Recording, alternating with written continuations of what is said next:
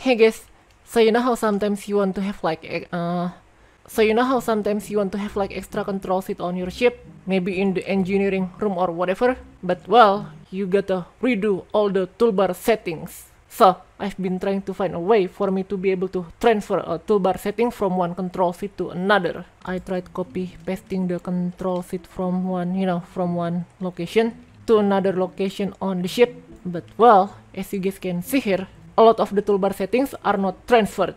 But well, you guys can see that some of them are actually preserved. These things are blocks that I group together.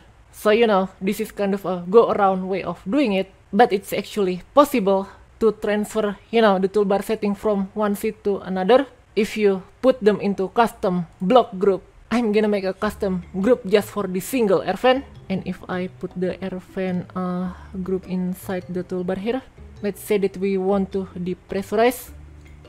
And now, let's say that you want to have a control seat somewhere inside your ship that is not here, but you want the same toolbar settings. You can copy paste your ship here. Then, you know, you can copy paste the seat with the toolbar settings that you already set up.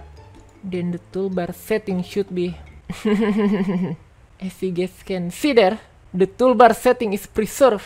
Even though it's not possible to preserve toolbar setting by copy pasting one seat to another location, if you put whatever you want to put in the toolbar in a custom block group, then you'll be able to transfer the toolbar setting by copy pasting the seat. So, that's how to quickly transfer toolbar settings from one control seat to another on Space Engineers. Mm, That's gonna save me a lot of time in my future builds